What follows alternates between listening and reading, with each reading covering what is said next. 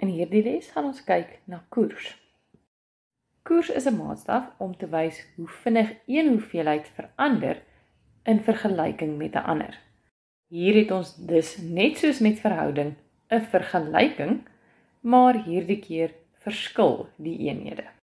Jy kan koers weer soos 'n verhouding sien as 'n breek wat bestaan uit hoeveelheid 1 gedeel deur hoeveelheid 2 en in hierdie geval is daardie twee hoeveelhede se eenhede verskillend. Jy kan ook kies om jou koers te skryf in verhoudingvorm, hoeveelheid 1 tot hoeveelheid 2. En vir albei hierdie skryfwyses gaan jy weer eens daardie basiese beginsels van breuke vereenvoudiging moet toepas. Wat bo gebeur, moet onder gebeur of wat links gebeur, moet regs gebeur. Die ideaal met 'n koers is om die waarde van hoeveelheid 2 altyd 1 te maak. As jy byvoorbeeld dink aan die snelheid van 'n motor, sal dit iets soos 120 km per uur wees. Dit beteken ons hoeveelheid 1 is 120 km vir elke 1 uur wat verbygaan.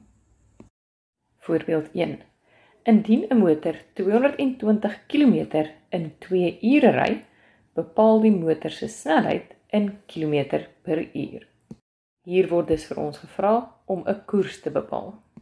Hier is die koers wat ons wil bepaal, die snelheid, en ons moet doeteenvoudig die twee hoeveelhede deel. Die snelheid word gemeet in kilometer per uur, so ons gaan ons 220 km in die teller en ons 2 uur in die noemer hê. Nadat ons hierdie vereenvoudig het, sal jy hê 110 km per uur. Voorbeeld 2.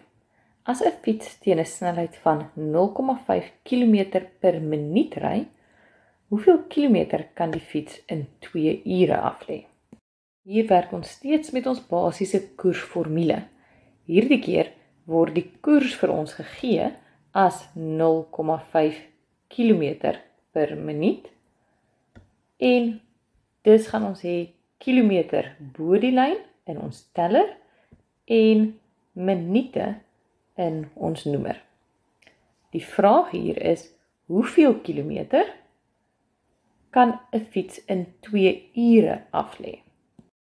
Dis moet ons eers ons 2 ure verander na minute en daar is 60 minute per uur wat dan vir ons 120 minute gee. Nou kan ons die 120 in ons noemer gaan invervang. Hier het ons dan 'n bietjie algebra nodig.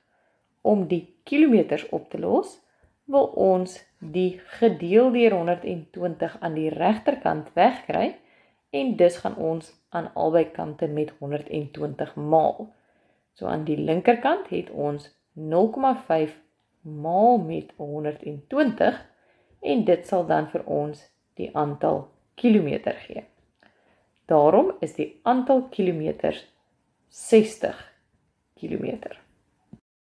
Jy kon hier ook kies om dan natuurlik jou koers weer eens in verhouding vorm te skryf en te sê 0,5 km tot 1 minuut. Hier word gegee 2 ure wat ons nou reeds herskryf het in terme van minute as 120 en daarom moet jy nou bepaal wat regs gebeur het sodat jy dieselfde links kan toepas.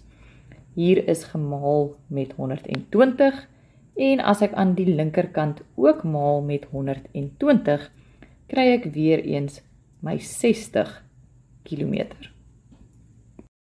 Voorbeeld 3.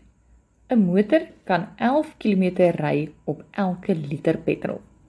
Hoeveel liter word benodig om 165 km te ry? Uit die gegevens weet ons dat die koers 11 km per liter is. En ons weet dus ons kilometer is in die teller en ons aantal liters is in die noemer.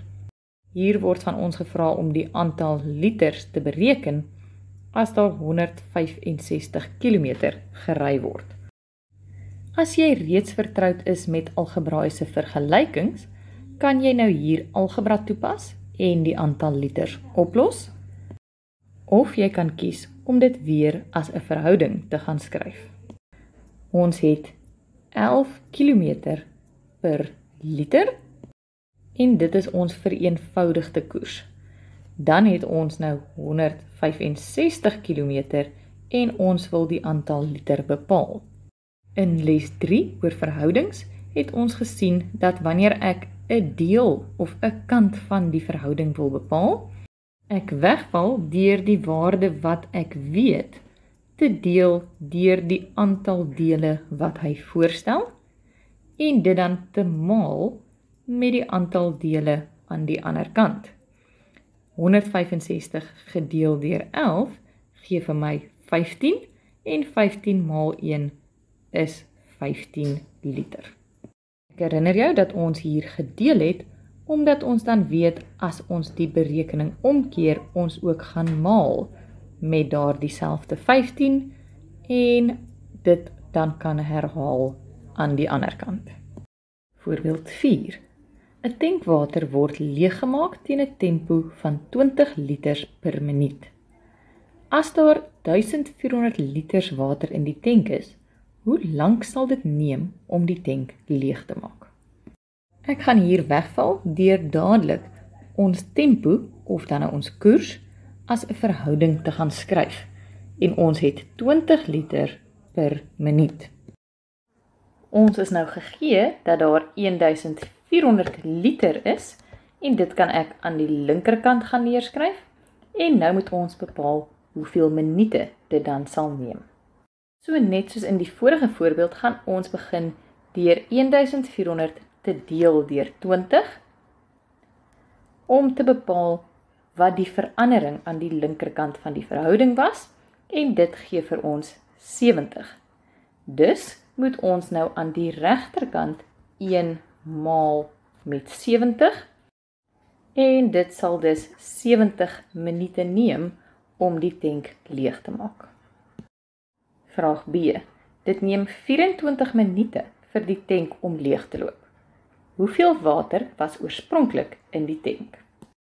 So hier begin ons weer met ons vereenvoudigde tempo of koers en hierdie keer word die minute as 24 minute gegee.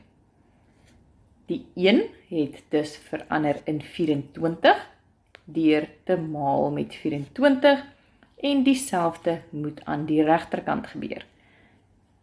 Hier is natuurlik 24 keer 20 liter uitgetap en daarom maal ons 20 met 24 en dit gee vir ons 'n totale aantal liters van 480.